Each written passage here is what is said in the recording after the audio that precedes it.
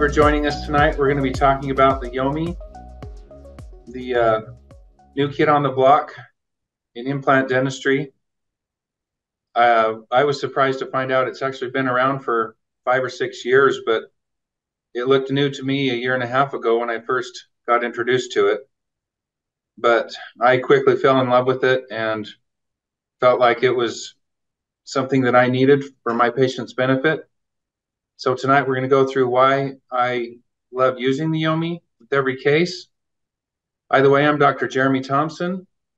I've been a general dentist for the last 25 years. I practice in Saratoga Springs, Utah, which if you don't know where that is, it's kind of along the Wasatch Front, kind of midway between Utah County and Salt Lake County. So the main population centers in Utah are kind of, kind of right in the middle of that.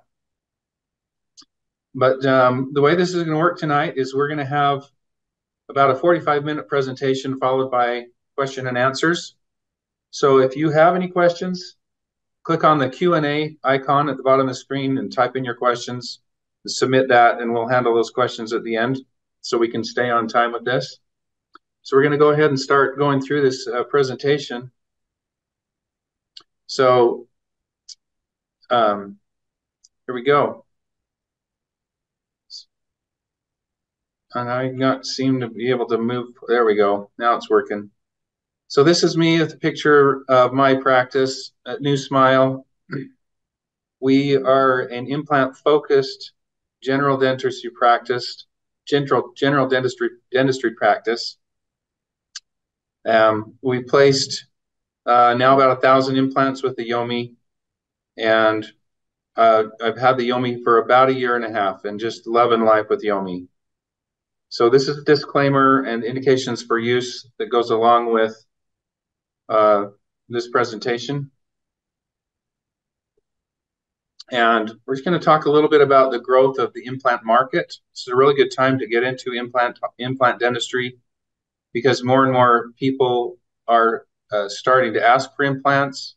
This is a graph just showing the growth of the amount of implants that are being placed in America, and it's estimated that a fourth of all Americans within a couple of years we'll ha- will have dental implants. And I'm sure that of those of you who who are practicing dentists, you'll see you've seen that you see that a lot of your patients coming in already have implants. Um, but uh, it's a good time to get into the market. There's 3,000 dentists currently in the United States performing full arch, which that doesn't seem like very much to me.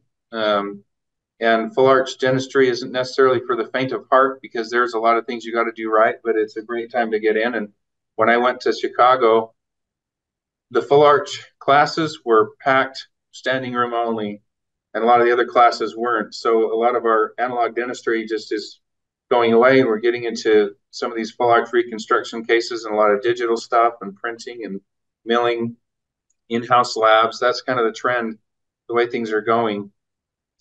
But more people than ever are looking for implant treatments today than than we have in the past, and and the awareness of implants out there uh, for Americans is is high. And so there's only one country in the world that I'm aware of where there's a higher number of implants per capita, and that's Korea. Which, if you went to the Chicago or any other of the conventions, you're going to see a lot of Korean products on the market because they're they're kind of leading the pack along with the United States on on technology when it comes to dentistry. So this demand is going to continue to grow, and we face all these challenges with our surgeries are to place implants effectively uh, are, are limited by these factors you see on the left. These are the challenges we face that you and I face in placing implants, hitting anatomical structures, worrying about the nerves, um, possibly running into neighboring teeth.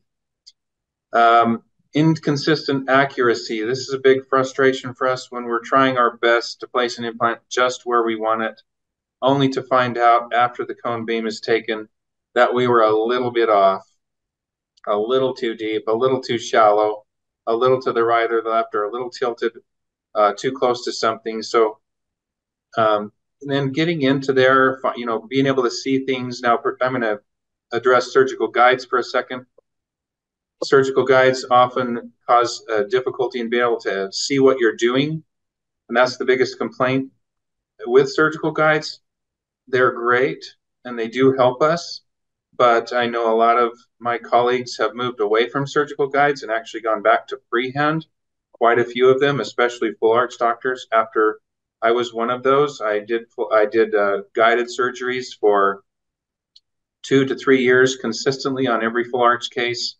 And I felt guilty at first moving away from them because of the frustrations I had with them, which were that I couldn't see what I was doing. The guide was bulky. The drills had to be extra long, which was really hard to access.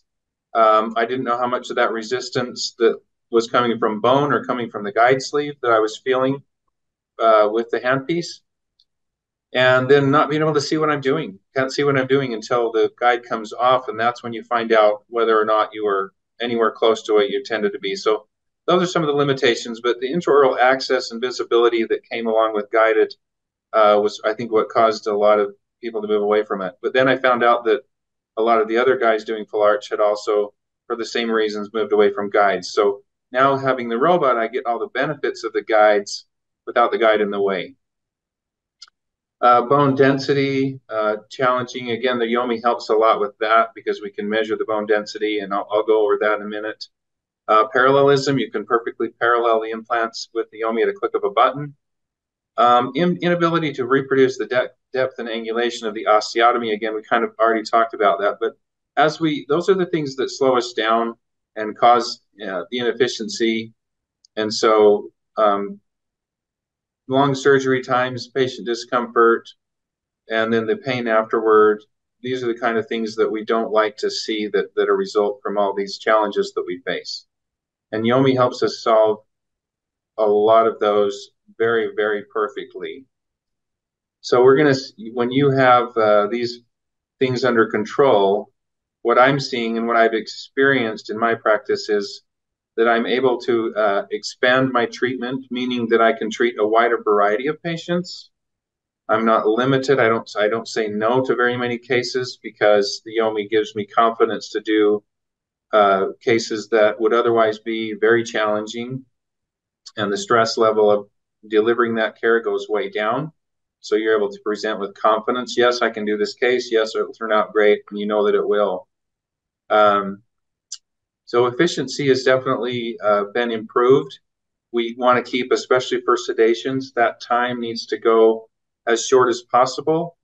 And for me, placing full arch uh, on a dual arch case, we're about 30 to 45 minutes for placing all 12 or more implants. So uh, that's from the time that we pick up the robot handpiece to the time we torque the final implant. We've timed it several times and we're we're in anywhere between 30 and 45 minutes for that entire procedure. So it's very efficient. Um, so the experience, uh, I want to just talk about that for a second because for me and my staff, the stress level goes way down. Um, Dr. Morales, uh, a colleague of mine who places a lot of implants, he got his robot and he said, he goes, Doc, I just realized at the end of my day that I'm not tired. And I had to tell him that I have experienced the same thing. My, I'm not stressed out and tired by the end of the day because it it really does take your stress level down when you're not trying and trying and trying and worrying about the getting everything just right because that's all being handled. So here's kind of been our journey as dentists watching technology come down the road. Our standard of care has been able to improve. We started out doing freehand, and then now then we went to static guides and um, those are kind of starting to phase out in some arenas in some ways. And because of the limitations of static guides, we came up with things like camera navigation, which was definitely an improvement. Uh, comes with its own set of limitations. And now we have, you know, like with our cars are now driving themselves. And uh, this robotic guidance gives us basically like global positioning for the mouth it's like our GPS system for the mouth. It tells us exactly where, we are at any given moment in time and uh, lets us watch us place that implant perfectly and helps guide us in so there's no no mistakes. So this is what the robot looks like and the business end is on the right side there. The three balls that you see are the joints of the machine. You have the shoulder there connected to the base and then the one at the top is the elbow and then the one holding the handpiece is the wrist. So it's much like a human arm. And there it holds the handpiece. What the robot does is lock you into a trajectory once you're in the right place. Helps kind of help you fall into the right place. Uh, if you go the wrong direction away from the osteotomy, it will give you a slight amount of resistance. If you go the right direction toward the osteotomy, it will kind of fall that direction. So without even looking, you kind of find the right place.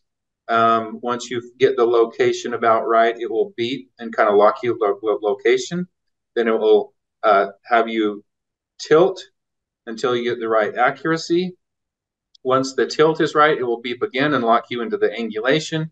And then you have to re uh, capitulate the uh, location. So once the angulation is right, you'll have a slight movement to pinpoint the accuracy over the side of the osteotomy, and then it will beep a third time, and then you're ready to go. And um, once you drill down and you hit depth, it won't let you go too deep. It will actually prevent you. And this thing's this robot arm is strong. It doesn't. Uh, you can literally try to push it and make it go too far, and it won't. So it's very robust. The thing in, you see to the left um, of the base there, I'll just this here is uh, the tracking arm. This little part right here hooks up to the mouth, hooks up to the link. You'll see that in just a minute, how the link goes onto the teeth or onto the bone to hold us and gives a robot a rigid fixation point, which then it always knows, once that's registered with the software, it knows exactly where the patient is throughout the entire surgery, any given moment. If the patient moves, this robot arm literally will move with the patient. It's really cool tech. And then we have a big screen here for the doctor to watch the surgery as he, if he cares to, as he goes. And then this over here is the control unit. Uh, typically, the assistant will drive the robot. The doctor will give is, issue orders to uh, pause, go guided, you know, go to free free mode or whatever. And it, the the drive person driving the robot will control it from over here, so it's into the correct mode as you go and enter in the drill sizes and things like that to speed things up so the doctor isn't taking time to type in the drill, what size he's using, and things like that. So this handles our planning, our, our planning software. It does the surgery and then also helps us plan out our restorations. So here's the planning software itself. This is a very intuitive software. We have a 3D reconstruction here, which we can manipulate in any direction. And then we have our three different views, sagittal, coronal, and uh, um, uh, the other one. three different uh, slices so we can always see what we're doing at any given moment. Um, and then it has these little drop down menus and back and forward arrows. So it you just kind of go down, you go down and check the boxes and then click the next arrow and it just moves you through the software. So it's really easy to to use very easy to, to figure out how to work. So when I was looking at the robot, I needed to know whether this was a, a good decision, and I'll tell you why I bought it. And then we're going to go through some case examples in this. We're going to talk about the uh, primary benefits of the robot, which is our primary stability consistently every time, safety near our anatomical structures, and then how it takes really difficult implant placements what we call, would call three pointers, and it will turn them into slam dunks every time, make them simple and easy. And then we'll, at the end, we'll talk about how I've been marketing Yomi in my, my own practice. So when I was looking at the robot, my evaluation process went something like this. These are the concerns I had here. Uh, my number one concern was if the patients thought it was scary.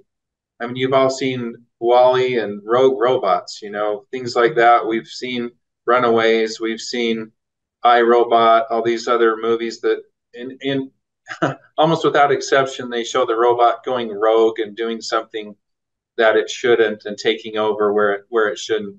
And so one of the things that has been created by this these wonderful movies we watched is a fear that robots will go rogue on us.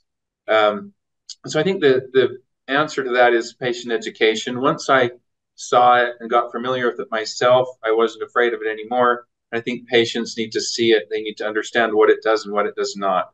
It does not take over the surgery. I am still in control. It simply helps me. And I, what I, the way I tell the patient is, what this robot does for me is I plan out the implants where I want them to go. What the robot helps me do is duplicate that result exactly in your mouth so that it's exactly where I wanted it to go, because that's the name of the game for implants. And it and as a side note, it makes the implant go in really tight. And they love to hear that. The implant's going to go in the right place. It's going to be tight. That makes them feel safe. So that's what the robot's helping me do. Not that I couldn't accomplish that, but it's hard to do consistently, perfectly every time. We're not going to say that to the patient, but it really is. So it's just a, a reassurance to them. So that paper, patient perception was a concern to me. But what I found through experience is it's simply by educating the patients about it, they get excited about it. It becomes a benefit. It's not something scary. It's something they're literally excited about seeing in action. Um, uh, for me and everyone else, I'm sure cost analysis is a big concern. Can we really afford the robot? This is probably the number one question I get by doctors who, who I talk to about the robot is what does it cost? And um, the monthly payment plus the osteotomy fee, there's an ongoing fee as you place the uh, implants there's a different plans out there based on it will custom, customize to your particular needs as a practice. But for me, when I looked at the monthly payment plus the osteotomy fees together, um, this was what it was coming out to somewhere between 50 and $500 per implant. And for me, it's about 50 because I do a lot of implants and um, it would drop further for people who do more implants than I do. And but if you do a few a month, then you're probably looking at about 500 uh, implant per implant. So you can either add the robotic fee as a as a code and bill that out as a as a separate code, or you can simply just raise your implant fee by uh, that same amount, whatever you figure it is in your particular situation, and that will cover what the cost of the robot is. So for me, it wasn't a, it wasn't really a once I understood this that didn't stop me from buying it. It was has been one of the best things I have ever invested in, and I'm so glad I did it. I wish wish I'd have bought it five years sooner. Uh, this is another thing that I was concerned about. Is it really hard to learn? Seems like a lot of tech, and is it going to be difficult? Uh, what I found is it was extremely easy. The the training support was amazing. They came in and spent the time to make sure we understood exactly what we were doing. And they literally came and attended every single case we did for weeks. And they offered to come ongoing whenever we needed a tech to be there and walk us through. They would they would uh, simply fly out and help us with the case. And that's still the thing. If I call and ask for someone to come, they'll come and help me. Now, I within a month of having the robot, I didn't need help. Uh, me and my team were extremely competent in doing it um, this was another concern for me. Is it going to take me longer? The last thing I need is something to slow me down. What I've found is that it actually is faster. There are some initial steps in the setup of the robot that take time, which are done almost 100% by the assistant. Um, when it comes to the actual surgery, it's way quicker. But overall, time savings with all the slowdowns to get going and then the time you make up, it's still faster than doing the procedure without the robot. We I've timed dozens of procedures and found that it to be it's about 25% quicker overall, all things considered, by using the robot. And then another one, a big concern for me was I don't have big rooms, and can I fit it in my office? So I actually went to see another robot user in Utah, Dr. Brooks, and I I looked at his room. His rooms were smaller than mine. and so uh, I measured the base of this thing. The cart sits on a 20 inch by 22 inch footprint. That's how big the, the base of the cart is. So that just wheels around. And then the arms uh, take up about three feet of horizontal space with the screens. And these are all on uh, movable joints. So they can be manipulated any which direction for where the where the person that's going to drive it stands, uh, how you want to view the screen from the, as an operator, um, and of course the robot arm is is mobile. So I haven't found this to be a real concern. However, if you do have like a big rollaway cart that comes over the patient, a tray table that that is on wheels, uh, during the robotic portion of the surgery, that would have to be wheeled to the foot of the chair so the robot can can come in and take that space during that portion of the surgery. So not really a, a doesn't really interrupt the flow of the surgery. So this is what I wanted to know. Is it can we really find the perfect marriage of faster, better, cheaper? And I you've probably heard this before. You can have something that's better and faster, but it's going to cost you a lot of money. Um, you might be able to get something faster and cheaper, but it's going to be, you know, a piece of junk probably. Um, and then you can have it be cheaper and better, but it's probably going to take longer. And what I've found is that literally we actually do have this uh, middle triangle being accomplished with Yomi, where it, you say it's not possible, and uh, Bob Borson says I could successfully argue that cheaper and better is so rare that it doesn't really exist, and yet um, we are actually having a perfect marriage of these three factors. So for me, it was there was no reason not to do the robot. It made sense to me economically. It made sense sense to me um, scientifically. But the biggest thing for me was what I'm going to go over next. Um, was yeah, was it faster? Yes. Uh, was it better? Yes, and that's what I'm mostly going to be talking about throughout this presentation is why it's better. That's what we're going to focus most of the time about. Now, is it cheaper? Well, it depends on how you look at it. I already went over kind of the economics of it, but when we take into consideration the precision that we're able to treat even the most demanding cases with predictable success, which greatly increases our patient selection, delivering care with a greater safety, with much higher primary stability, with less post-op pain, fewer fewer failures, and less redos, and shorter time to finals. Uh, that's those are some some. It's hard to measure what that's worth, and I can tell you for me, it's been I didn't need all those things even to be a factor. Uh, just the factor that just the fact that it was a greater primary stability alone was enough for me to buy. Just the fact that it was a, a safer way to place implants was enough for me to buy. But uh, when you add all these other things in, it really does become uh, kind of a no-brainer, honestly. Here's a couple examples. These this these implants down here were done within the first month of me having the robot. On a patient, it took 12 minutes to place those four implants, and um, kind of your textbook perfect all on four situation. And uh, this was just really cool to see and to, know that I that I did that from the time I started drilling to the time I placed my last implant uh, was just 12 minutes. And then the one above here, sorry for the skewing of the image here a little on the CBCT, but there was another case where, you know, a few months down the road, having a little more practice. And this is not pushing it, guys. I'm not, I'm not going for time. I'm just telling you this is what it took when I was going at the normal flow. It's not like I was trying to set a record. But these uh, four implants here took eight minutes to get in. So here's what to me is the number one reason why the robot makes them makes sense. Having primary stability is everything to us implant dentists. It really is everything. If we don't have that, we have nothing. You can do everything else right. You have to do 200 things right to do a full arch implant case from start to finish and get them get it perfect. And if you don't have this, you you just the 100, 100 other 199 don't even matter. You have to have primary stability. And what I've what I love about the robot is you get literally just rock solid cases. Um, I can get this. I'm always torquing out before I get to depth. Always. The the implant drill is is stopping uh, two, three, four millimeters sometimes before depth and telling me I got to get out my wrench and finish the job. But that's I almost never get it all the way down with the robotic arm. It gets it 80, 90% of the way down and then I'm torqued out with the handpiece and I got to pull out my wrench. I love that's a good problem to have. That's the problem we want to have that it's torquing out before depth. So the planning software makes it really easy because you just look for how much green is on your implant. If you're seeing a lot of red, for example, this is an extraction socket where we're engaging the uh, bone, the native bone above the socket for our stability. And I stuck it in here to kind of show you if we're in air, it's going to turn red if it's hanging out in space or if we're in a trabecular space where there's mostly there's you're in bone marrow and you don't have a lot of trabeculation, you're going to see a lot of this red.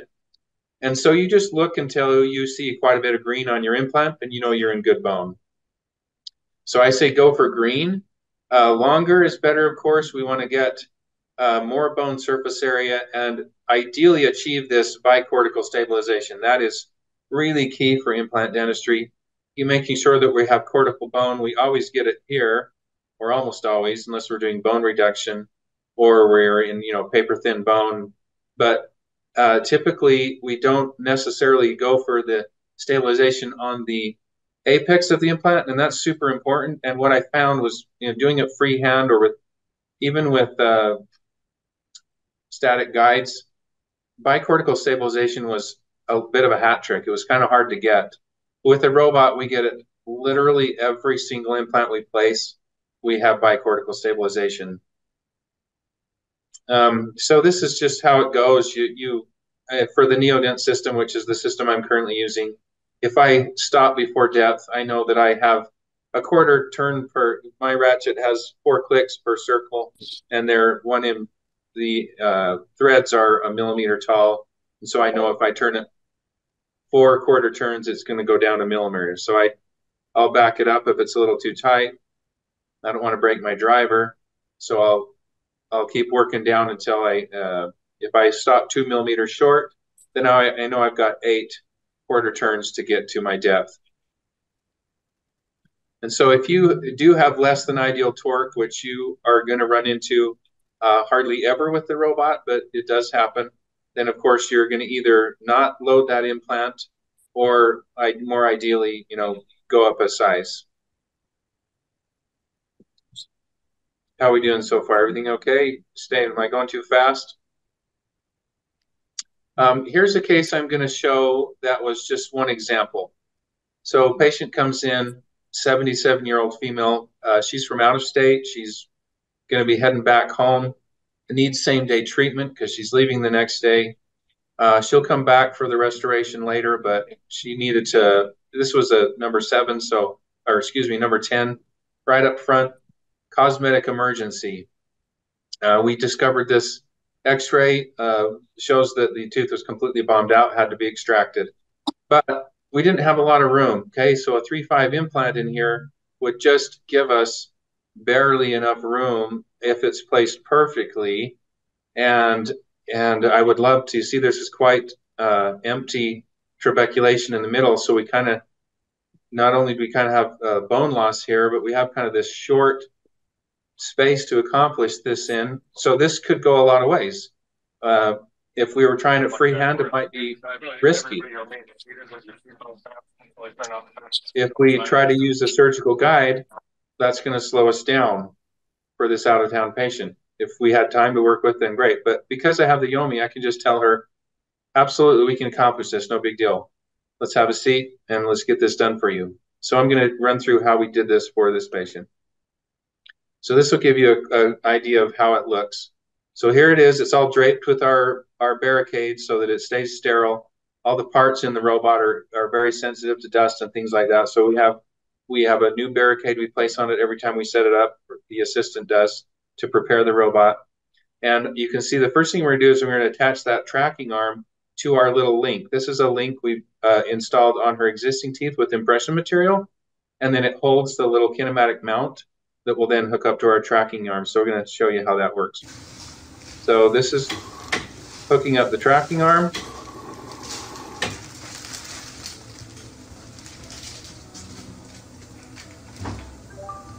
And you hear that little bling?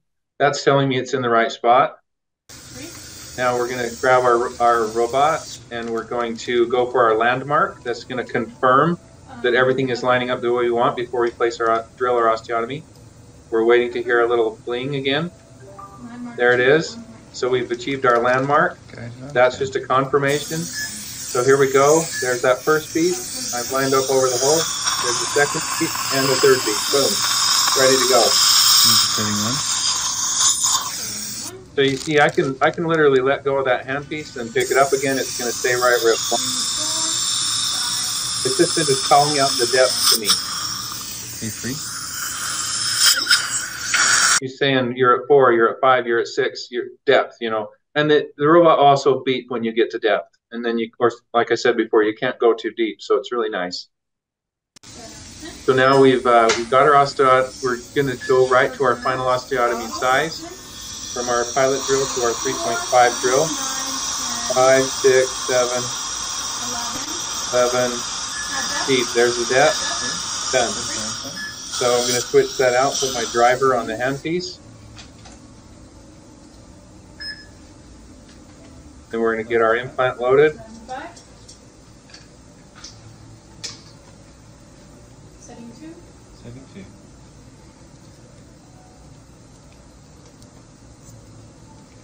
Okay. And then we go back to our orientation. Boom, boom, beep, beep, beep, ready to go. Four, five, six, He's calling out the depth. seven, Seven, eight, nine, ten, eleven. Packed up. boom, depth. Okay, so the implant's in, and now we're going to remove the tracking arm, All that for 10 seconds. and we're done. So here's the post-op x-ray. We got that nice bicortical stabilization, able to get engage that sinus floor, uh, have just the right amount of thickness on each side. We had just enough room to have a millimeter and a half on each side of this implant. Are we able to place that platform about a millimeter subcrestal, even with the bone loss, and then put by putting a longer abutment in. There's our temporary. So here's how that worked. We had this 45 newton centimeters primary stability. We placed our acrylic temporary out of occlusion. Our total time in the chair was about an hour, but for me, I was in there about 20 minutes. Um, most of that time was in the extraction and making the temporary. So um, the actual time you saw for placing the implant with the robot was about, I think, about three minutes from start to finish. So here's here's the other thing about the safety. Uh, we have all these anatomical structures we're trying to work around. We've got the sinus, we've got the submandibular fossa, we've got the inferior alveolar nerve, we've got all these areas we've got to avoid, and especially the buccal plate, the sacred area that we don't want to invade because we don't want to melt down that plate and have thread exposure. Um, but here's a neat little technique. If you look at this x-ray here, this was placed in a patient that uh, didn't have enough bone, was told they didn't have enough bone for implants. But we found a way that by doing this, it, it works out beautifully. You can get great primary stability and then an onlay graft on this portion. So that's just uh, showing this knife edge ridge technique. Rather than reducing this knife edge ridge down, uh, you can actually get that implant into really great primary stability, and then the implant becomes your best scaffolding for growing new bone. So we've been able to help a lot of patients that way. Um, your number one enemy is skiving. So if you get a post-op x-ray after doing Yomi and your implant isn't the, the spot you planned it, probably that's because you hit some cortical bone and the drill bent off of its path. It's probably not the robot's fault. And so I had a few of these early on that I was kind of confused by. And then I started correlating that I would be hearing that little rattling sound during when you're doing your first osteotomy. You know, normally when you're doing freehand, it just skips off the bone. You can't get it to stay on path. But the Yomi is holding you on your path. So it's a lot like a static guide in that way. As you're doing static guided, you go down, you, you hear that little rattle of the drill. It's probably because you're skipping off the bone and heading off into no man's land. So if you hear that rattle, that's a really good audio uh, auditory clue that you need to just hang out in that spot for a minute and wait for that rattle to go away. And, and the robot arm will just hold it there for you. And once you have have that rattle goes away, you know you're not that's not that bone isn't pushing your drill off to one side. That rattle is hearing the flutes of the of the drill uh, knocking against the cortical plate. So that rattle tap technique is what you do. Once you've the rattle goes away, you tap a little further and you work your way down. And so in this way, we can we can get uh, nice tight implants in cortical bone without having it knock uh, head off to the side somewhere we don't want it to be. So here's the reasons we our implants fail. Don't? The number one is lack of primary stability. That's where we get our early failures. But the second reason the implants fail is because of improper placement. And that's where we get our late failures a month out, two months out, two years out, three years out, because it was almost perfect, right? It was just maybe a little too shallow. So we got some thread exposure, which then eventually it melted down the cortical bone. Um, and these things cause our, our pain, our implantitis, thread exposure. And so, uh, quoting Lynn Thompson, who's my father, he says, almost perfect only counts in horseshoes. So with the robot, we're able to get it. We don't have to worry about almost perfect. Uh, Yomi takes care of both of these issues for us, takes care of the primary reason for our early failures is uh, lack of primary stability. Uh, so our rock solid provisionals and quicker time to finals are a benefit of having that ideal primary stability, and that gives us our short-term success rates going through the roof. And then, of course, because we're so precise in our placement, that we're going to have fewer late failures. We're going to see these benefits of robotic placement paying dividends for years to come by having happy patients with happy tissue that don't have uh, reasons we have to explain why that that's now bad. Well, why doc you place that implant? Why I have a problem with it? So it takes these difficult uh, ones where three pointers. If your bone width is less than eight millimeters, you darn better well have that just right in between them. If the de uh, depth is less than 10, now you've got a, an issue with uh, trying to find a shorter implant, softer bone. Uh, if you're close to the anatomical structures where you're working with extreme angles and things like that, not a big deal. And sometimes the, with the anatomy of the uh, ridge being pear-shaped instead of round, now we've got all these weird anatomies trying to work with, and it might look good from the top, but then when you get in there, you, you realize you're in the submandibular fossa or something. So, or a knife edge ridge, and we kind of covered that. So it takes all these difficult ones and kind of moves them all over into this category, where even if you have less than this, you know, if you got more than eight millimeters of bone, great, you can afford to be off a little bit. If you got plenty of depth, you can afford to be off a little bit, maybe. Um, but when you do, you can't afford to be off is when you need the robot. And most of the time, we're trying to maximize the space anyway. We're trying to put the biggest implant we can in the bone we have. So there's when do we have wiggle room? Well, really, hardly ever, honestly. And you who've done very many implants know that's the case. So uh, it'll take any three pointer and turn it into a slam dunk. So here's just some examples of that bicortical stabilization where we engage uh, the, the tip of the implant into the bone where we want to get both sides of the implant real tight. Easily achieved with Yomi. So here's just a nice example of how we get the AP spread and showing the cross section of each implant. We're able to often get implants way back here where maybe we wouldn't attempt it because we think we're too close to the nerve. But that's usually because we're scared because it has to be just right. Well, with the robot, we can we can get it just right each time. So I'm going to show you this quick case here we did uh, 12 implants in 35 minutes, and here we're going to watch the timing. You watch this timer on the side. After uh, we just finished all of our primary osteotomies of the pilot drill in less than three minutes, now we're doing our final osteotomy. We go from the pilot drill right to the final size. And now we're placing our first implants, and we're seven minutes in. And there we go, pulling out the wrench. Is our third implants at 10 minutes.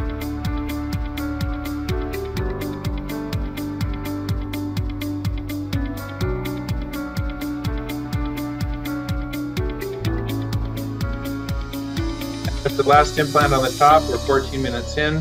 Now we're going to switch the kinematic mount, put it on the bottom, start drilling the lower. And there we are placing our implants. We're up to about 30 minutes. We got a couple implants to go. Then we're at 34 minutes, full arch, upper and lower, 12 implants. And this will show you an example of the capability of the robot here. I'm just going to uh, recorded this little video of a case we did last in November. This guy is already restored. Did a consultation for a month ago, and he was told by other dentists he didn't have enough bone for implants, and I kind of told him you know, it was a pretty severe case. And as I looked through this, I didn't know how we were going to accomplish this case. I thought maybe we can do this, but it's going to be tough. You can see on the maxilla particularly just basically almost nothing anywhere to work with. But, um, and on the mandible you can see uh, very little to work with. So we thought we would go ahead and, and do this surgery. And I want to show you how it turned out.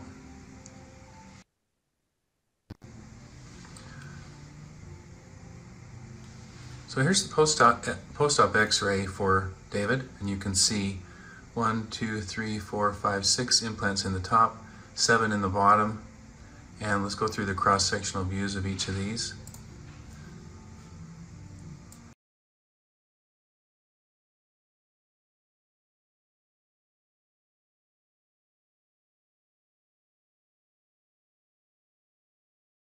Stability, 45 newton centimeters. Every one of these implants were There's ideal that first lower one coming up. stability. There's the second one. There's the next one on the top. Sneaking that in there. Tight spots. Every one of these were just kind of a miracle. There's that one. That one. And this next one on the top, I gotta angle a little bit for you. So you can see the tips are almost touching on these two implants. I'm okay with that.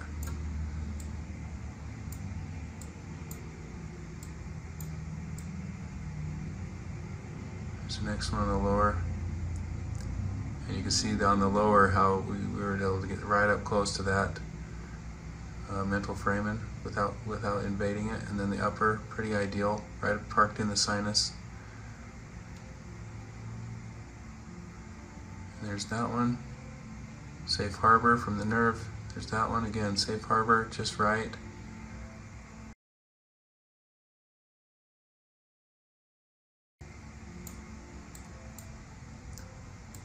Can see it parked right up in there. Uh, rock solid case. I, I honestly, this one even surprised me, but good AP spread, 13 implants, uh, about a three hour surgery to get this start to finish, including the conversion and getting him in some full arch temporaries. This guy said, hey, forget about uh, my two front teeth for Christmas. I want all of them.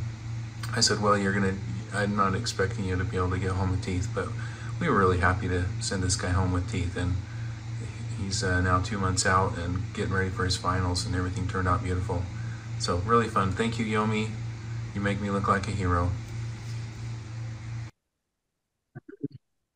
So one of the questions I get is, can you always use it? Is there circumstances where you just can't make it work?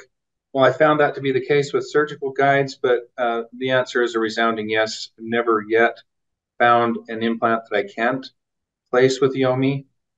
Um, real quick, if you know, there's there's ways if you find that the angulations are off and you're fighting the robotic arm a little bit, uh, with a little experience, you find that just simply by moving the patient's head a little bit, it does have a lateral access feature where you literally can lock into a pre-trajectory based on it uprighting as it goes in. It's really cool. Um, so even in really difficult patients with trismus, with very limited access, you can literally get implants all the way in the back. So really cool. Um, these are other techniques you can you can use that can you can always get the implants in. There's another. I just describing this case you're seeing above.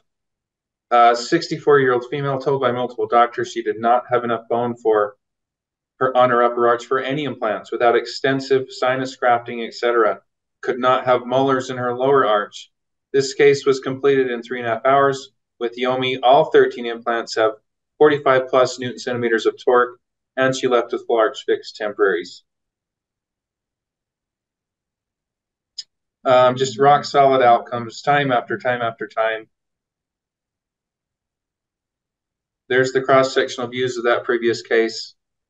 Look at the bicortical stabilization on every single one of these implants on the top. The only reason you don't see it on the bottom is we have the nerve in the way. So obviously we're not going to invade the nerve. So how do we market it? Um, mostly by talking about it. I think word needs to get out there. Uh, I was not even aware it was there until I went to a trade show and I heard a guy lecturing about it, and it really piqued my interest, and I'm really glad I did. But I'm glad that I had that opportunity, and so just talking about it, talking about its benefits, uh, the more we get exposure to it, I think it's really going to catch on. There's a couple of hundred robot users in the world right now, and I think there needs to we need to have ten times that. Um, and I think that everybody placing implants ideally ought to have one. But basically, talking about it, and the way you talk about it with your colleagues is you talk about primary stability and safety near anatomical structures and how cool it is, and you want to talk about the financing of it. But when you talk about it with patients, what you say to them is, you know, because we have the robot, this is what we, this is why your post-op pain is so low. This is why we are able to get this result. This is why I didn't have to refer you for zygomatic implants and have you spend a lot more money and have more more recovery. This is why we got you into your finals in two months instead of three or four. This is why um, we have very little failures. Um, this is you know this is why I'm able to do your case. So this is I think just by telling him uh, the you know looking at the X-ray together, telling him what they just got and why it was better helps them understand it. So this is some of the things that we've done. We've done open houses let people come in and try it and see it. We got a big response to an open house we did uh, a couple weeks ago. We had uh, 17 people show up on a Saturday, and and we did a bunch of free consults and got we sold some arches as a result of that. I think about six arches came out of that event. Um, your website obviously is your primary uh, marketing tool, and you can Yomi has a lot of materials that can use for your websites, for displays in your office, education materials and then you can if you have the robot you can uh, let your colleagues know that you have it and they can probably start referring uh, implant case the more difficult cases to you as if you're some kind of specialist because you in a way you are not officially but you have something special when you have the robot.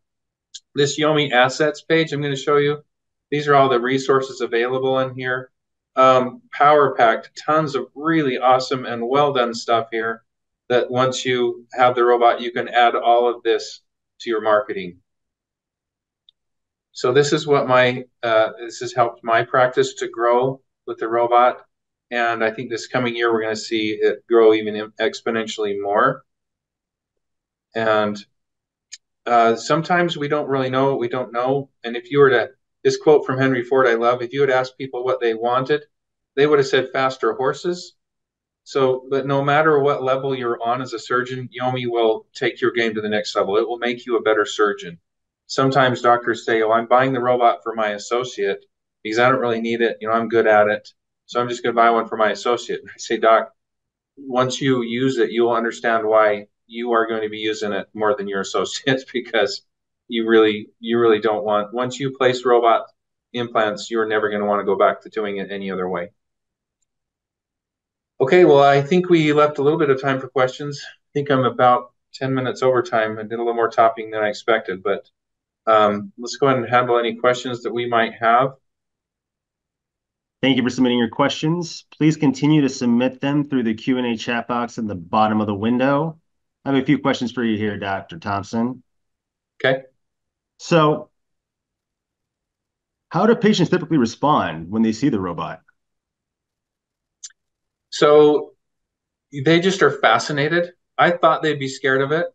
So it because it looks big and scary, it does look big and scary, but it looks super cool at the same time. I think by just appealing to their their techie side and say, check this thing out. Look, this is what it does. Tell them what it does and what it does not. It doesn't take over the surgery for me. I'm in control. All it does is boom, helps me replicate my plan in the mouth perfectly every time and give me tight implants. That's really all it does and they're like, oh, cool, you know, and then you can go into more detail. So the patient response has been overwhelmingly just like they love it. They think it's super cool. They love talking about the fact that they had a, a implant placed with a robot, you know, and they're, whoa, cool. You know, it's just a kind of a, a pretty awesome thing. It was not as, I, I thought it would be not as well received as it has been. I haven't had any negative, any negative from, uh, except one patient who said, no, that just looks too, that's too much. I'm claustrophobic. I can't have something in my face. I, I can't do it. And so he, he opted to, basically, I was forced to do a freehand implant on him, but that's been the only exception out of a thousand implants that where a patient declined having the robot. Right. Can Yomi use all types of implants?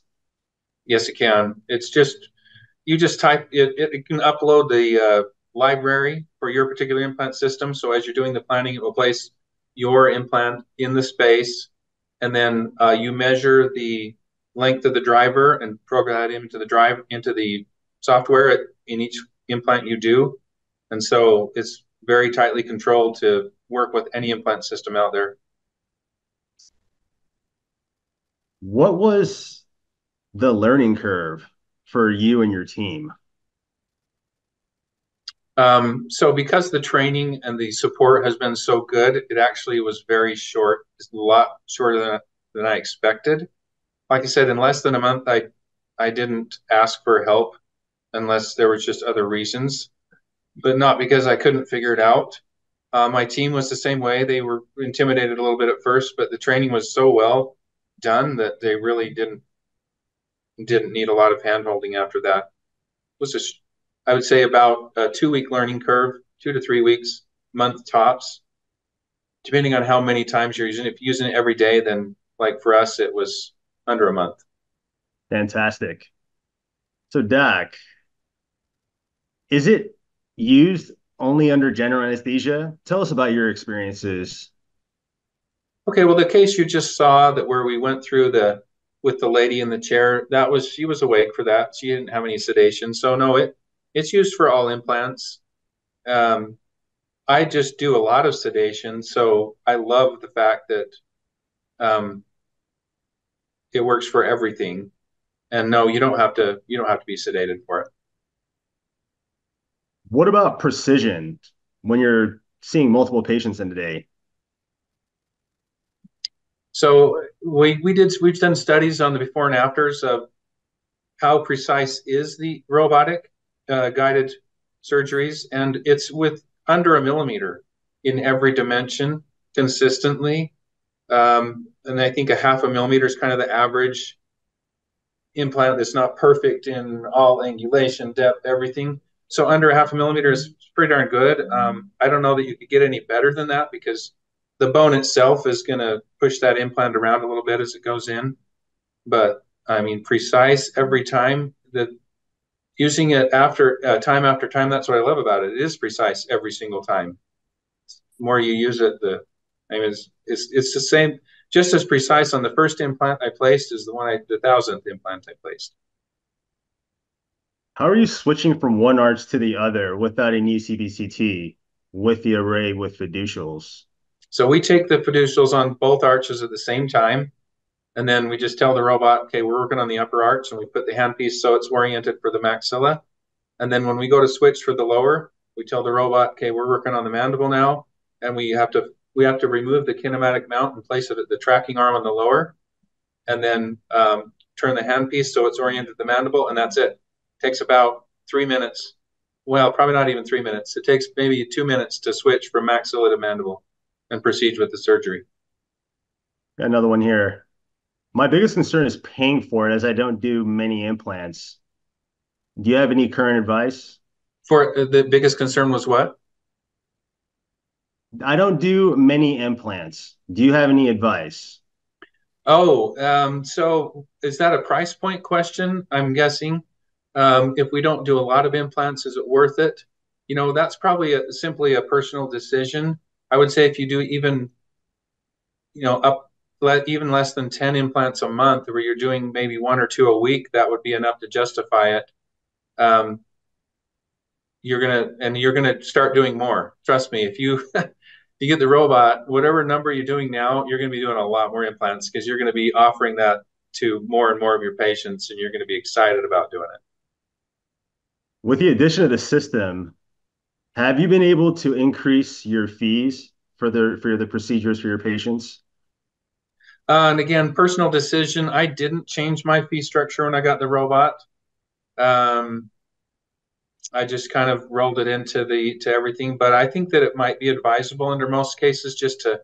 I mean, uh, change in fees are not something your patients really know about. You just change your fees.